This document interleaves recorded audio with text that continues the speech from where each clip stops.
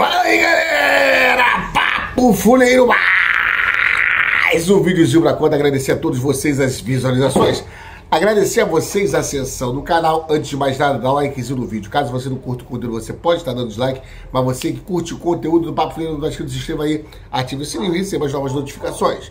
No vídeo de hoje, vamos às imagens do que aconteceu no último final de semana, da Pavilhão 9, né cara? A gente tem poucas informações, mas a gente tem algumas imagens aí. Vamos comentar sobre as imagens, beleza? Antes de eu começar este conteúdo, solta a vinheta.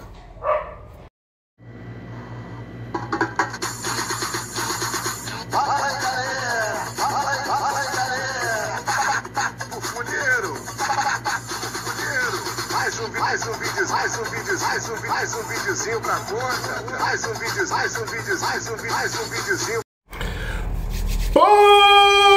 Bem, antes de começar esse conteúdo, você que mora na grande BH e tá precisando de um serviço de entrega, é, motoboy, Clube Motoboy. A Clube Motoboy tem mais de 500 prestadores de serviço prontos para te atender. Segurança e rapidez é com a Clube Motoboy. A Clube Motoboy também tem um serviço de oficina. É, se seu, seu motinho não tá legal, deu um rateio. É, compadre, deu aquela rateada, né? Rateada. Vai levar lá na Clube Motoboy, vai falar que você viu no canal Papo Fuleiro e você vai ganhar um super desconto, beleza? Valeu, Gessimar! Papo Fuleiro e Clube Motoboy, uma parceria sólida, é, compadre. Então, nós falamos semana passada né, acerca das brigas que estavam, né?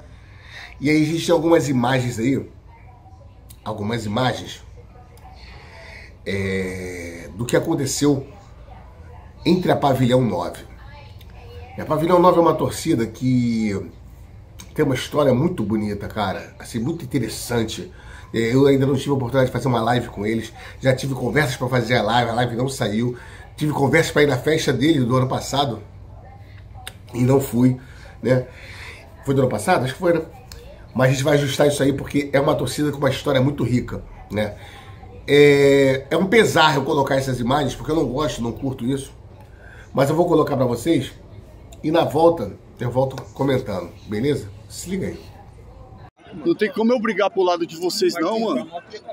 Eu falei não, eu falei não. É. Eu falei não, depois vai dar soceira lá no Gaviões lá, o mano do Gavião usou. Não, depois os caras chamam a gente lá. É.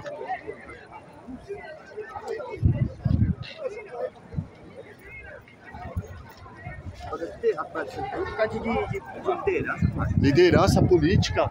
Ô, mano, Aí, rapaziada. Olha os caras brigando dentro do shopping Itaquera aqui, ó. Torcida do Corinthians.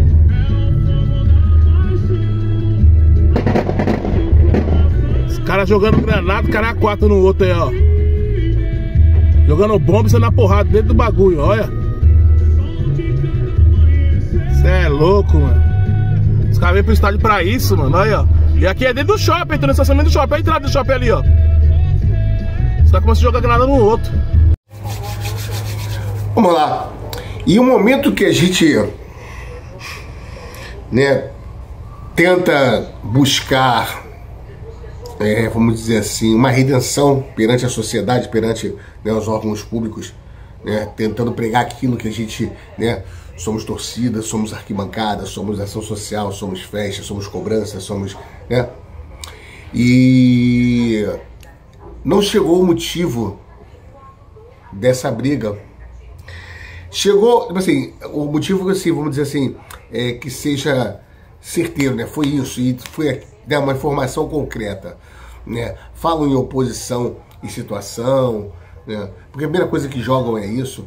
Mas independente de qualquer coisa, eu acho que da forma que foi, né, da forma que foi, é mais um vídeo que não vai monetizar, né? A gente estava tentando não colocar mais esse tipo de vídeo, mas não tem jeito, né? Quando acontece tem que colocar.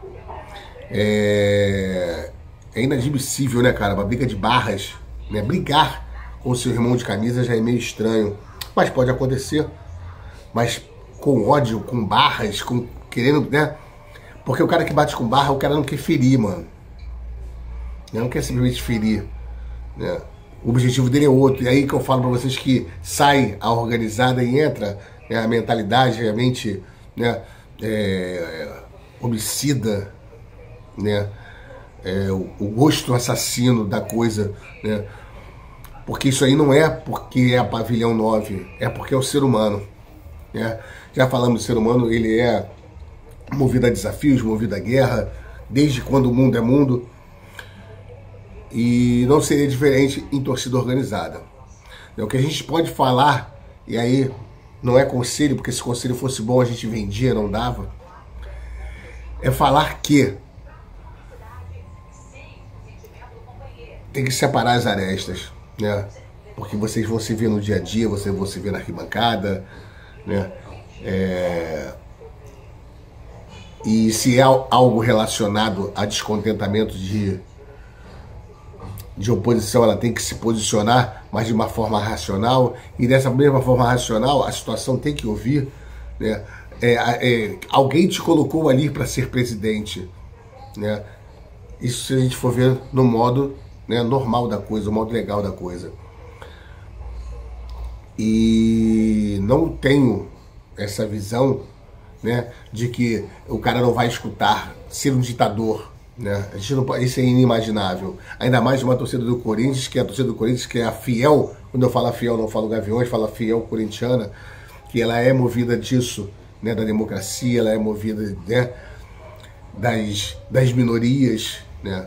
Mesmo que hoje não seja uma situação, né, a situação de hoje não é isso os Gaviões da Fiel, a Camisa 12, a Estopim, né, a Pavilhão, elas não são das minorias, né? Porque a torcida do Corinthians ela se modificou, né? Isso dito pelo corintiano, né? Então acho que eles têm que aparar as arestas, né? E cessar isso aí. Porque nós estamos brigando contra não é o sistema, porque nós fazemos parte dele, mas nós estamos brigando com uma tendência que é a tendência de tudo criticar a torcida organizada. Falou torcida organizada, a tendência é alguém falar mal, não é a tendência é alguém falar bem. E nós brigamos por isso. Mostrar que a tendência está errada. Né? Não existe tendência quando você vai comentar algo. Né? Você tem que comentar algo baseado em fatos. E se vocês derem esses fatos aí, a tendência é que falem mal da pavilhão, né? Independente do que a pavilhão faça, né? Quero sim fazer uma live com a Pavilhão, ter um contato bacana aqui, né? Vou tentar de novo. Agora, né, estamos aí com a internet bacana, né? Que dá para você, né, é, conseguir falar com o convidado e tal. Enfim, é, vou pedir um favor para vocês. Aproveitar esse início de mês para você virar membro do canal. Seja membro do canal, 50 reais anuais.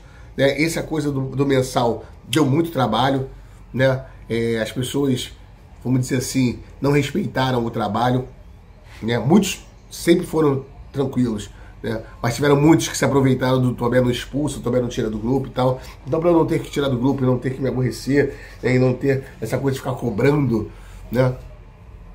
Todos os dias, por exemplo, todo dia entrava gente com mensal, todo dia entrava gente com mensal. E aí virava o mês, tinha que ficar cobrando todo dia.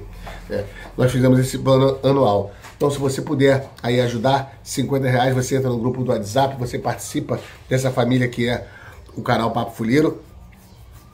E nós agora estamos com alguns projetos bacanas que ainda vamos concretizar esse ano. É, e nós precisamos dessa ajuda, da ajuda financeira também, porque hoje temos contas a pagar com data fixa, dia 20 vence a internet. E aí? Temos que pagar com o dinheiro do canal. E o dinheiro pode ser esse aí que você vai estar fazendo o seu plano anual. Beleza? 21 975517492 21 975517492. Entra aí no WhatsApp aí, vamos trocar uma ideia. E é isso aí. Devemos ter mais conteúdo no dia de hoje, né? Uma livezinha para conversar com vocês. Mas por enquanto eu vou ficando por aqui.